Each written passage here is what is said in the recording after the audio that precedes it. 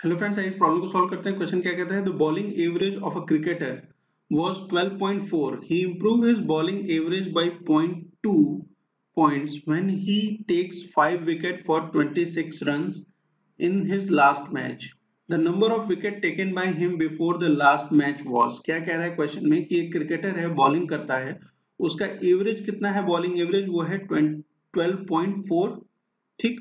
वो इंप्रूव करता है, उसकी बॉलिंग एवरेज क्या होती है? डिक्रीज कर जाती है पॉइंट टू से, ऐसा क्वेश्चन में दे रहा है। क्यों? क्योंकि वो पाँच विकेट ले लेता है 26 रन देके अब हमसे पूछ रहा है क्वेश्चन में कि इस मैच से पहले उसने कितने टोटल विकेट लिए थे? अगर हम ये मान लें कि जो ये पाँच विकेट लिया है 26 रन देके इस मैच को छोड़ दें तो उससे पहले उसके टोटल विकेट अगर एक्स थे, ठीक? अगर हमने ये मान लिया तो टोटल रन कितना हो जाएगा? उसने कंसीव किया होगा लास्ट मैच से पहले, वो हो जाएगा 12.4 पॉइंट फोर इंटू एक्स अगर कर देंगे तो हमें क्या मिल जाएगा? टोटल रन मिल जाएगा, ठीक? लास्ट मैच में उसने कितने रन दिए हैं? वो दिए हैं 26 इट मींस इसमें अगर 26 ऐड कर दें तो रिसेंट मैच तक हमें टोटल रन्स पता चल गए। और ये जो एक्स है, जो हमने माना था, वो कब, क्या माना था? कि लास्ट मैच से पहले उसने टोटल विकेट लिए थे, वो एक्स थे तो लास्ट मैच तक उसने टोटल कितने विकेट्स लिए? एक्स प्लस फाइव हो जाएगा, ठीक? अब हमारे पास क्या है? रन पता है और हमें विकेट पता है। तो हम क्या करेंगे? रन को डिवाइड कर देंगे विकेट से तो वही हमारा एवरेज आ जाएगा। तो टोटल रन कितने हैं? 12.4x plus 26 divided by total wicket कितने हैं?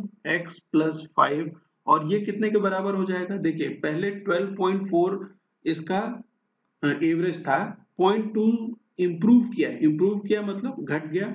इट मींस अब जो उसका एवरेज हो गया है, वो कितना हो गया है? 12.2 हो गया। यहाँ से हम x की वैल्यू निकालेंगे और वही हमारा क्या हो जाएगा? विकेट हो जाएगा, जो उसने लास्ट मैच से पहले लिया होगा। तो आइए इसको x के लिए सॉल्व कर लेते हैं। तो यहाँ पे क्या वैल्यू हो जाएगी? 12.4x प्लस 26 ये कितने के बराबर हो जाएगा? इधर से ये मल्टीप्लाई होगा तो तो ये दूसरे साइड जो वैल्यू आएगी, वो क्या हो जाएगी?